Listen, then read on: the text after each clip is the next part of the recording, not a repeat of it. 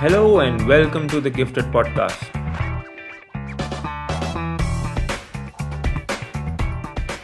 I am your host, Niraj Mulani, and in the Gifted Podcast, I speak with elite athletes as we try to challenge the misconception that athletes are just some people who are talented or gifted with special abilities at birth.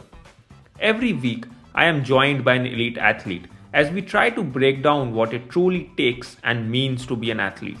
If you're an aspiring athlete or just a casual sports fan, you will definitely enjoy this podcast as I get candid with athletes about their journey, their achievements, moments of heartbreak, and most importantly, moments of hard work and perseverance. Today, I have with me Latvian track and field athlete who competes in the sport of pole vaulting, Pauls Pujats. Pauls is an Olympian and competed at the 2016 Rio Olympics, where he was a finalist and finished 12th overall. Since Pauls is the first pole vaulter on my podcast, I try and understand the physiology of an ideal pole vaulter and the basics of the sport. Among other things, we also discuss how the pandemic forced postponement has disrupted his training for the Tokyo Olympics. So let's jump right in. Welcome to the Gifted Podcast, Pauls. We're really, really excited to have you today. How are you doing? Thank you, Niraj. Appreciate it. I'm doing wonderful. Thank you for asking. How are you, Niraj? All all good man all good. And you're the first pole vaulter on the podcast so i would definitely want to pick your brains on the basics of the sport because i do love learning about new sports and the only knowledge i have of pole vaulting is from the 8-bit video games that i had played as a child. So would you be kind enough to tell the audience and myself what are the basics involved in pole vaulting? And what are the common rules that athletes should be aware of? And also physiologically what constitutes an ideal pole vaulter? Mm-hmm, absolutely. So starting from the head start i would say pole vaulting is extremely complicated sport. So not only you have to be mentally strong but also physically strong fast uh, agile and, and also with good reflexes um, because you never know what can happen. And you have to be very brave, very courageous as well. Imagine running with a with a huge stick in your hands and planting in the ground and then lifting yourself off over. It takes a lot of mechanics there and a lot of engineering too.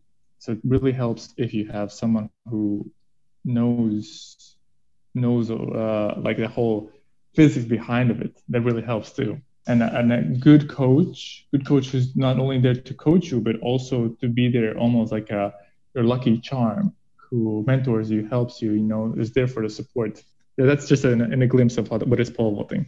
And what what would you say uh, constitutes an ideal pole vaulter physiologically? Would somebody like you who's really tall have an advantage, or you know, like we see in horse riding, shorter people of shorter heights have an advantage? Mm-hmm. What would you say are the physical constituents of ideal pole vaulters? You know, interestingly, I've seen many pole vaulters, different sizes. I've seen um, who are smaller than me, uh, some who are taller. You do have an advantage when you are taller because you're able to take off higher, and it's just much more easier to go through the vertical. That is advantage for sure if you're bigger, if you're taller. But honestly, you have to be light. You can't be massive. You know, you can't be a sumo wrestler. you have to be light or bodybuilder. You have to be pretty light. But uh, at the same time, very strong because you have to hold, you know, imagine you have to hold yourself on, on a pole that's moving full speed. So yeah, different bodies, but I would say the taller you are, kind of the more you can be almost like a gym, gymnast, you know, be in very control in your body. That's amazing quality to have. So would you say having say an an experience of multiple sports as a child would be advantageous to a pole vaulter because they have to develop various different aspects of athletics within their body because it's not a skill that comes naturally to everybody. And you know it's a obviously mm-hmm. a specialized and acquired skill of pole vaulting. Yeah. If you can in your early childhood I, I highly recommend to do all sorts of sports especially gymnastics. Honestly gymnastics and uh, something with kung fu is amazing because they develop your body in early age to be very dynamic very flexible and strong at the same time also something for adrenaline, I highly recommend to do like skateboarding, snowboarding, maybe surfing, and uh, cliff diving to get that adrenaline rush too. So that combination would be amazing together. And a little bit of cross country because cross country gets to develop the stamina that you can, you know, longer last in the, in the jumps. Right. So which sports would you say you used to play as a child? I did skateboarding, snowboarding. I did also decathlon. Decathlon is amazing too. So there's 10 events that you have to do. And um, I did uh, taekwondo as well, a little bit of taekwondo and, and a little bit of gymnastics. Well, actually, gymnastics started when I was a teenager already. So gymnastics were a little bit later for me.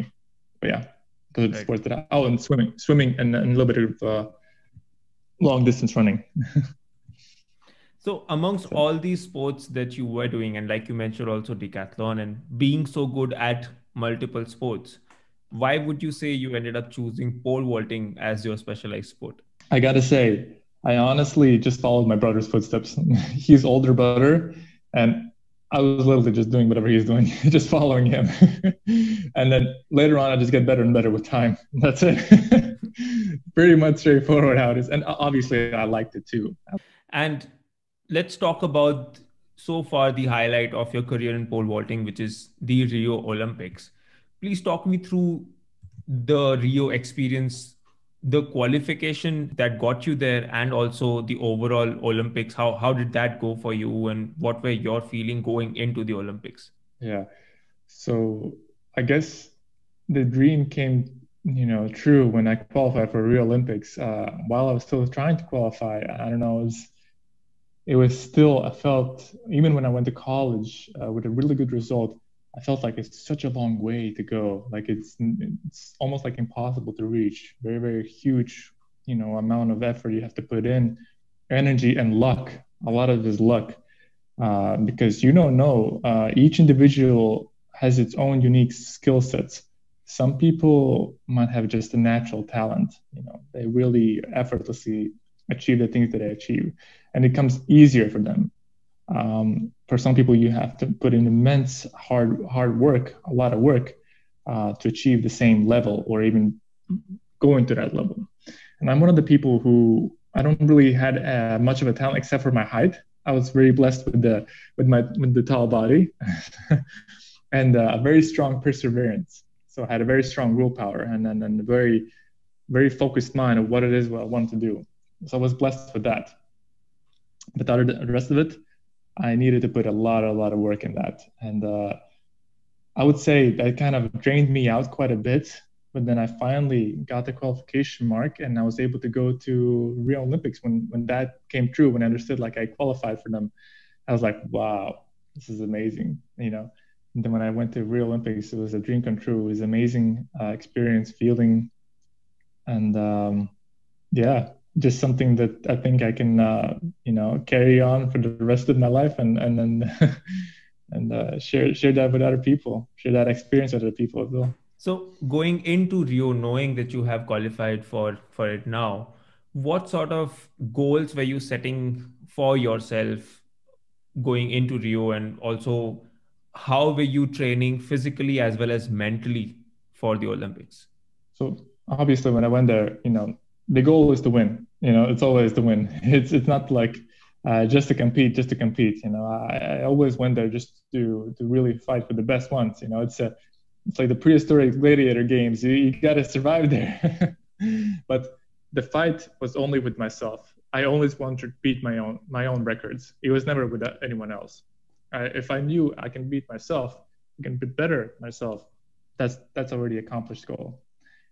A lot of meditation a lot of focus on that that was uh, actually in yogic practices opening up a lot of energies chakras as well as focusing the mind with the words of affirmation and then all the physical aspect to it which is a lot you know from weight rooms to tempo runs to pole vaulting uh, gymnastics and other unique exercises. So, and recovery definitely recovery. If you want to be a highest level there is you got to make choices that's going to limit the things that you want to do. You can't do it all. So if you want to be a highest level athlete, you can't be working you got to focus on sleeping, training, eating, resting, recovering. That's it. That's all you can see. Unfortunately, it's very limited. If you're if you're not, if you're not especially if you're not talented. If you're talented, you can maybe uh, and if you're quick, you're fast. You know, you can afford to do here and there a little bit something else. Yeah, and uh, something that you mentioned right now, and I'd love to dig deeper on that, which is relying on alternative methods like yoga, like meditation, you know, energy science, trying to open up the chakras.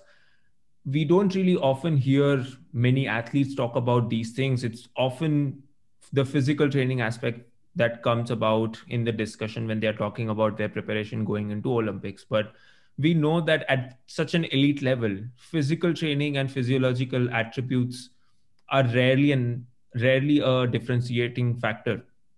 So, how did you get into these alternative ways of trying to get yourself in the right mindset, and how did you use them to your advantage? Uh, I'm going to start from the beginning. That you know, it's very true that not many people actually uh, know about these techniques, know about these practices, and it's important, you know, to have right mentors, right teachers who actually know what they're doing and want you, you know, to get have the, the best best possible uh, accessible information that you can possibly possess. So again, I don't have I didn't have much of a talent, so I needed to find an extra resource how I can you know substitute myself to be better, you know, to improve myself to get better higher level with the things that I have already at my at my uh, advantage. And I was lucky that I have um, from Buddhist monks showed me uh, unique breathing techniques to yogic masters who showed me mudras, yogic asanas, and uh, uh, also unique breathing techniques, how to recover the body, how to open up any energy blockages that I might have, and also how to train the mind, to train the focus. That involved hours of meditation, of course, hours of yogic stretches and then asanas, and um, a little bit also some some other unique unique approaches. Uh, that I'll probably mention later on, uh, like standing on nails. you know, I can't show you the video right now. That's something for training the mind, training the focus there. You know, your goals and vision. And uh, some were also standing on the on the glass, but you have to be with an expert, you know, to do all that stuff. Uh, so just, just a little bit of that, just something to train the mind a little bit farther.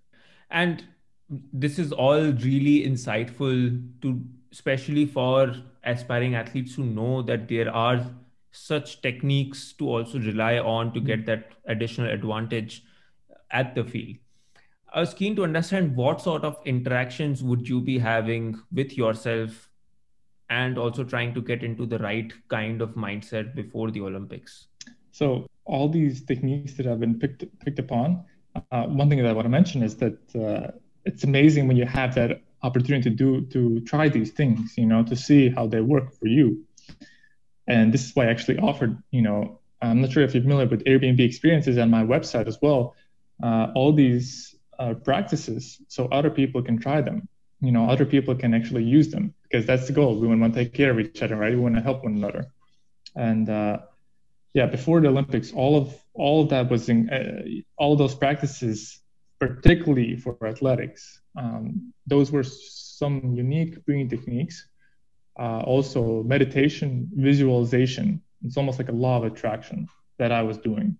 I think it's very important to have the right mindset, have the right vibration to do that. Right. And apart from meditation and yoga and visualization as well, you're also a martial arts expert and one of the only two certified mm-hmm. instructors of the warfare combat system in the US. How did these alternative techniques physiologically also come to your advantage on your way to becoming a better pole vaulter? So I think it's important to try different sports for everyone. That is for everyone. Take what you can, implement it in your sport from other sports. Absolutely. That's just a benefit for anyone. Try out many things and you'll see you'll learn so much more. And if needed, you can adjust it to your specific sport to your advantage. I think it's it's very important to be open-minded for everything. And then right warfare combat, combat system came with uh, some unique exercises of how also there was meditation and some unique exercise how you can strengthen the body even further on. It's, it's very amazing, very awesome.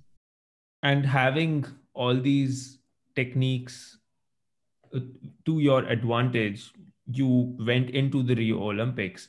I'd love to hear your uh, how did you train the day before the Olympics? How did your heats go? And then finally, the, the final jump. Yeah. So it's a little bit more complex when it comes to the competition and training. It's two different types of approaches.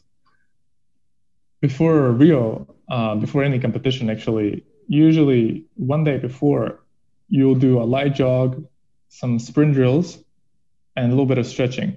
That's it. Nothing more. That's all you need to do. And uh, you just rest the entire time. Focus on the competition. Accumulate that energy. Focus, meditate, you know, accumulate that energy. Charge yourself up. So yeah, that's that's pretty much how it is. And I think uh, for any competition, you need to be very well rested, yeah, recovered. right. And how did that then help you perform better in your qualifying jumps and then also on your way to the final jumps you definitely qualified for that and ended up finishing 12th how did you manage your mindset throughout these jumps and how did you rate your own performance at the at the end of the olympics so since these were my first olympics i was um, you know new experiences so to say something that i haven't experienced before and uh, when I went to qualification, I just had fun. Honestly, I went there in the mindset without being too. I mean, I was serious. I wanted to. I know what I wanted to do, accomplish, but I went there with the mindset, you know, just enjoy this moment, just to have fun. And I think in the qualification mark, I had uh, too much fun. that uh, that uh, I, I kind of like put everything out because I really wanted to qualify. I mean, I really wanted to go further. You know, that was, I guess, I perhaps I limited myself even it's very possible. Or I spit spit myself all out in, in, in the first uh, qualification mark. And uh, just the next day, I couldn't really sleep because I was too excited. I was too too uh, too I don't know rounded up, uh, rounded up. And then the the final, there was some bad uh, weather conditions, and uh, and I had a little trouble jumping in the rain mentally. Mentally, it was challenging for me and uh, yeah, didn't didn't well, didn't went too too well as, as as much as I expected. I felt great actually in the competition. I felt great. It was also, but again, if you're mentally not ready, then everything else is not going to fall fall with you. So. Right. and I think this is really interesting that you mentioned here that since this was your first Olympics, you were obviously excited and went all out in your qualifying jumps itself. And this is something that I'd recently read as well in uh, in Abhinav Bindra's book, who's actually a rifle gold medalist in from Beijing, um, and he's an Indian rifle shooter. He mentions how he realized in his first Olympics in Sydney and also in Athens that he cannot sleep the night before the the shooting finals are going to happen, which is why after the Athens Olympics, all the world championships that happened, he forced himself to stay awake and train himself to perform better even without sleeping on the day of the finals which is what actually mm. helped him perform really well in beijing. He he mentions in his book that that he only ended up sleeping about 2 hours the night but he really woke up afresh and was ready to go and got into the trance zone so i think it's really interesting to also then see that evolution go through like you mentioned everybody, even at the elite level, if it is the first Olympics, they need to go through that that process of the experience to eventually reach that. Absolutely, because all of it is just the mind. All it is. If you can calm the mind, you'll be good. if only if only it was that easy. Right. That's another thing. very true. Very true.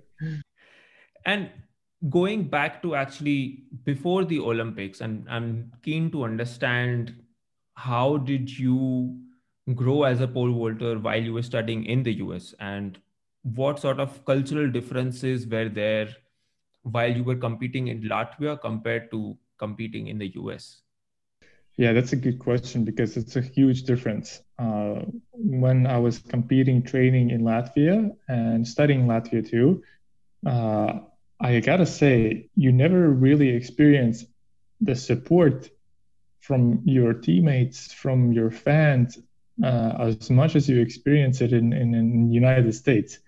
I don't know why I experienced such a huge change. And um, like your teammates in the University of Memphis were so cheerful, always cheering you on. And, you know, we, ha- we did this to each other. It was, it was shock for me.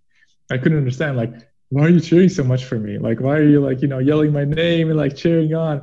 It was a shock for me. You know, the Latvians would never do something like that. you would never experience anything like that. and it was a very, very shocking, very, very strange at first, but honestly, that gave so much more power, so much more confidence. It's crazy. I wish every every nation had like this an obligation where you literally cheer one another you know because you are literally, literally on this world with one another you have to cheer yourself on and I think when you cheer on even your competitors, uh, you understand that they're not any, anymore your competitors. They're more so like your another teammate that's you know that you're competing with and, and, and just having fun with, enjoying the process. Uh, it's a big one. That's a big, big, big change. Big change for sure. and we often see a lot of track and field athletes who have their own way of getting their psyche on, if I could call it that sometimes we see there are like two kinds of athletes one who would try and shut everything out and just listen in on themselves. And the complete contrast are the, are the ones who try to psych the audience up and use that energy to perform better in those events. What kind of athlete would you say you are? It depends actually. It depends on the mood. Sometimes i i, I get get the crowd cheering up and uh, sometimes i'm just focused on what i need to do. Um, I will say this: there, it's really very true that a lot of athletes are different. Some people like to be cheered on. Some people like to be kind of introverted and focus on their own thing. And I think there's a big, big difference on what how's the individual, you know, on the each individual how, how is unique uniquenesses. Because uh, some people waste a lot of energy when they have a lot of people or it's a distraction, and some people get energy from that. It really depends on each individual it's a it's a big difference. Yeah. It, it depends on my mood. Which one would be that jump that you say has been your best or the most stand out jump for you? It may not be the Olympic jump uh, itself, but which one do you say has really got you excited yourself about your own jump? You know, I'll say that the biggest change that has uh, given in my life was the qualification jump that I did. And I think that kind of left in my memory like, wow, you know, you've, you've done this, you made it. and then Rio Olympic Games competition was also was really, really fun. It was, uh, it was just a fun experience. but I gotta say, uh, there's one practice that it was in summer time a couple of years ago when uh, I I've done something that I didn't do, then couldn't be able to done before, and uh, I think that was amazing moment in my life when I, when I could could take the biggest poles, the highest grips, and just don't give a damn at all about anything, and it was just having fun. It was it was amazing. Like there's a huge immense power that you have in that motion in that moment, but it doesn't come. Uh, it didn't came uh, later on for some reason. It came with a, a huge immense of uh, pushing myself to get hyped up. Before that, it just happened, you know, naturally. Now, this is where the talent comes in as well. If the person is talented, it comes naturally for them. It just not comes naturally. They don't have to think about it. Uh, for some, you literally need to almost un- unlock yourself, like a new new ability. Those are the three main main main ones, I guess that left left the most impression on me.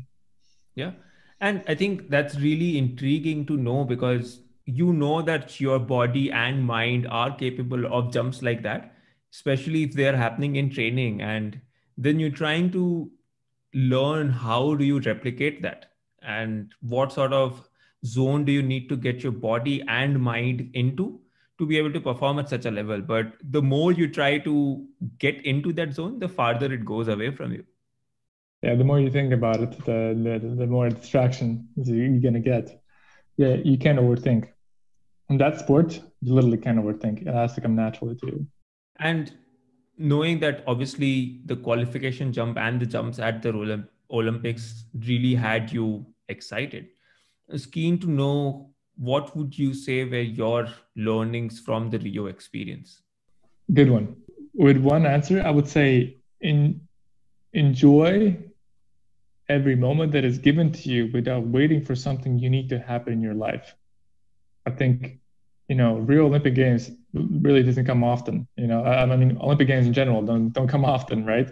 And you have such a small amount to to to get into it, uh, such a small chance to get into it, and then actually compete there and compete good. That's also another one. And I think it's important for people they wait until this one unique moment. They work, work, work until this one unique moment. They forgot to enjoy the process. That's why it's important, important, very important to enjoy every single thing that's given to you because life is a gift. Every moment is a gift. You got to enjoy it, have to enjoy it. Absolutely. And then I think you'll be able to really appreciate and celebrate every given moment to you without expecting something to happen in the future wise because you never know what's going to happen in future life is a mystery and it, it's not guaranteed for everyone so have to be very aware of that to understand it to enjoy the moment enjoy the process and right after the olympics as well you ended up actually writing and releasing a book of your own healthy food for athletes what were your aspirations behind writing this book I had many people who were asking me, "What's my diet?" and I decided, okay, you know what? Instead of me like always telling every every single person, I'm just gonna write a book and just you know get it out there so people can just read it. that was my biggest aspiration, honestly. so I could save some some of my my voice.